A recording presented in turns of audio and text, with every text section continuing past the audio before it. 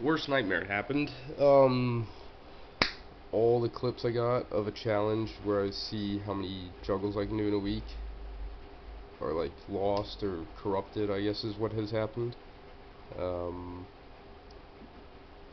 really annoyed because this is like the first project I had that was like a, a, long one, like it went over the course of a week.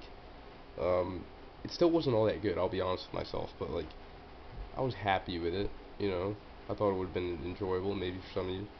Um, so I guess the only things for me to say that I said in the video are thank you to the two people who liked my prior video. That meant so much to me. Um, thank you to also the person who subscribed. Um, I'm really sorry about there not being something this month, an actual video, because that's the goal I was shooting for.